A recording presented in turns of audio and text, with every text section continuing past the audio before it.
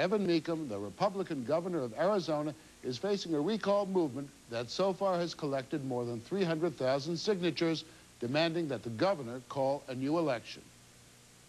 Ev Mecham became governor by the closest of margins last year, but he'd been in office only a few months when a most unlikely coalition of Arizonans was calling for the governor's blood. It now seems that there's only one way the governor can avoid another election, and that is to resign. And by this weekend, a number of fellow Republicans were urging him to do just that. His troubles started just after he took office last January when he rescinded former Governor Babbitt's order declaring Martin Luther King's birthday a state holiday. Mecham said only the legislature had the power to declare a holiday. Would you like to see, would Ed Mecham like to see a paid vacation day I asked, honoring Martin Luther King? I asked the legislature to act. I am not trying to put the legislature in a box. But you have an opinion prerogative. on it, Pardon? don't you? Oh, I won't share that with you. I've done everything that I can. The governor had already made it clear where he stood when he publicly warned blacks not to push for the holiday. If you continue to push in this manner, and you continue to push people who have willingly said, we want equal rights for all people, the time does come when the majority says, we're not going to take it anymore. Let me say this. Uh, you know, is this an inquisition in the governor Mecham on what I say and do? Let's talk about what I do. Let's uh, let's get on the positive things. You know, uh, you can spend all the time saying this and this and nitpick, and that's really what uh, my detractors are trying to do. I think the movement for recall of a governor of a state is hardly a nitpick. The go look and see at their bill of, of their bill of what they're talking about. Sign your recall petition here.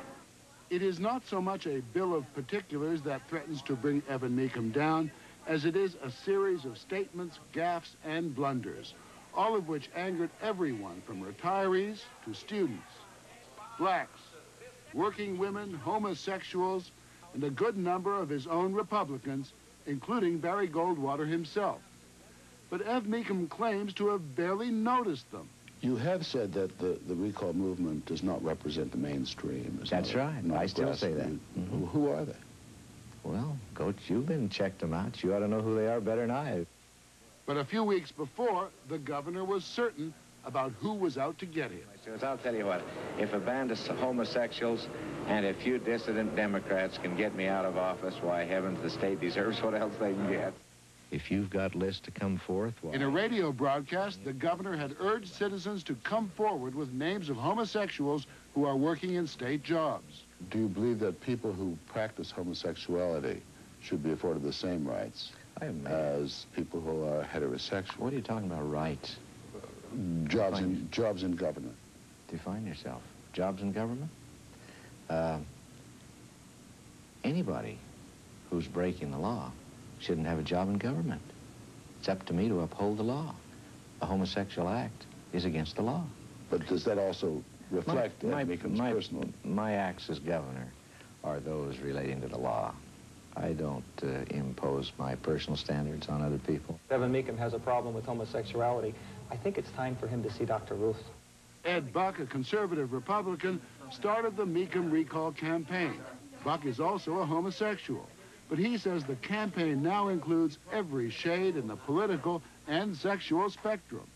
Didn't it surprise you that a conservative Republican state like Arizona would respond so positively to a movement for recall by an, an avowed homosexual, an admitted homosexual like yourself? Didn't you think that you would be absolutely anathema to a movement like this? I am. There's no question about it. You know, Ed Buck is not the right man to be leading this. He's the only man that came forward.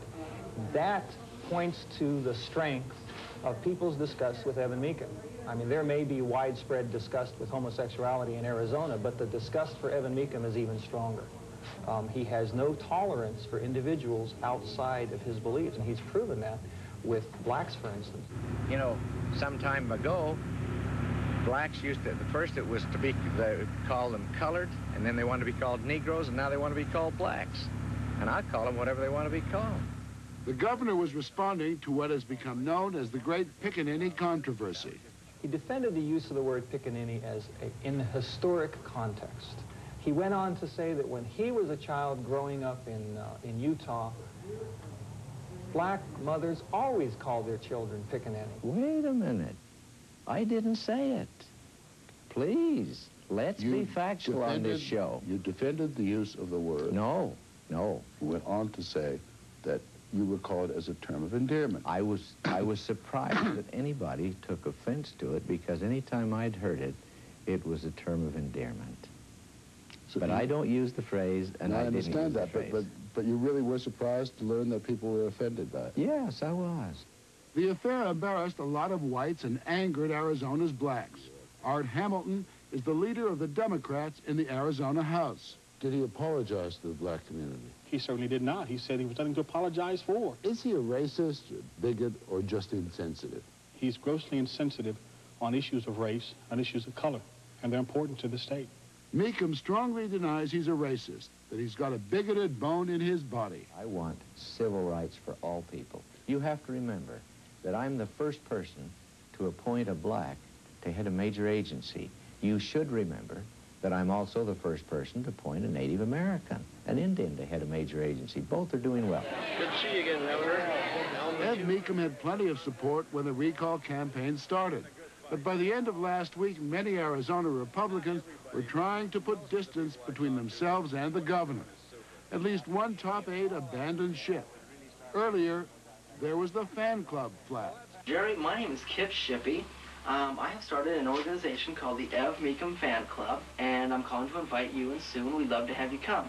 I can tell the people the uh, truth of his issues so they can go out and tell other people. And then I'm the kind, I'm a very spunky person. And so we get people psyched up, you know. We'll clap for him, we'll stand up, we'll shout. Kip Shippey, a 17-year-old volunteer worker for the governor, led the assault against the recall movement. It got rough. Yeah, it did. It took a while, but uh, it, it, it got very rough and very dirty after a while. I mean, one of your bumper stickers said, queer Buck's recall. Direct reference to the fact that Buck is a homosexual. Correct. The recall was planning on making a toilet paper with the governor's face on it. So it's, it, it gets dirty. But poor Governor Mecham was as surprised as anyone when he turned on the news one night to discover Good evening. Some shocking news out tonight about the young leader of Governor Mecham's fan club. 17-year-old Kip Shippey was convicted in juvenile court three years ago of molesting an eight-year-old girl. Was that embarrassing? wasn't embarrassing to me. I felt sorry for the young man. It didn't have any effect on me and my administration. I've never been a child molester. I got a clean life. Why should it affect me? Well, if he's running the Ev Mecham fan club, I should think that it would have some residual effect. No, I didn't assign him to run the Ev Mecham fan club. If I'd have appointed him to do something, then I'd have checked him out. And if he'd have been arrested, I'd have found out his background. which brings up the issue of the governor's appointments to state agencies. We have a very careful selection process on, and we do a background check on everybody before we ever put their name up for appointment. Then, of course, the governor would have known that the man he appointed to oversee the state's prison building program, Lee Watkins, had served time for postal robbery. Then there was his choice for tax collector. Russell Ritchie, head of the Department of Revenue, Mhm. failed to file a return. Ten return. months late. Mhm. Mhm. Yes, sloppy of him. Not only sloppy, but against the law to file a tax return late. Then there was his choice to fill the state liquor control post, a man who was under investigation for a 1955 murder. Albert Rodriguez. Al Rodriguez was cleared of any charges, but the man was unmercifully persecuted on something that he's totally cleared of, but I had to withdraw his name. I knew nothing. cleared of anything. I beg further. to differ with you. Rodriguez was not cleared of anything. The Attorney General of Arizona says it's a jurisdictional matter. A murder was committed just over the Mexican border, and Albert Rodriguez could be tried by a Mexican court. Then there was the question of a job for Bill Heisler as a state investigator. The only thing he would have ever been hired for was a very middle-level job in working for one of the agencies to do some investigation that you have all through government. But the press revealed that the proposed new state investigator had at least two criminal convictions. Poor old Bill. They worked over him, just a sort of an innocent guy that uh, drinks and fights too much, and he's passed and has quit. You presented his name. No, I never presented anything about Bill Heisler. Never did. Where did he come up? Where did he come from? How he's did a it come figment of the news imagination. Governor Mecham firmly believes that the only problem he has is the press, a vindictive, unfair, unscrupulous press. Your own party, your own conservative wing of your own party, is telling you What's that? that you're being paranoid about the press. No, no, wait a minute, wait a minute. Not the parody. See, you exaggerate.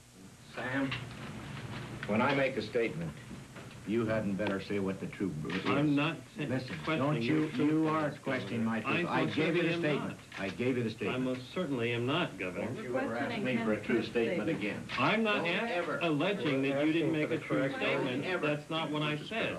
That's exactly what you said. Do you believe that Pat Murphy, the publisher of the Arizona Republic, told his reporters, get Ev Mecham? Oh, I have never uh, been too concerned about that. Here's But on local television, Mr. Murphy and his papers were of great concern. It's been reported to me that uh, Pat Murphy has said we're going to crucify the little so-and-so, the publisher of a newspaper. I think the public ought to know what kind of a publisher they've got. We have over 400 journalists in this organization, and I, can, I just don't believe that anybody can believe with any reasonableness that uh, any 400 journalists in any organization are going to follow in lockstep uh, some order to, quote, get, unquote, a particular politician. Your papers have hardly been a friend. We've covered the news. We've covered the governor. If a stranger stepped into this state and looked at some of the components and elements uh, in existence today, uh, recall effort led by a homosexual, a governor who refers to uh, pickaninnies, uh, some potential appointees in his administration who were in, one was investigated for murder, another was court-martialed. Uh, it has, has all the makings of a farce, but it's all true.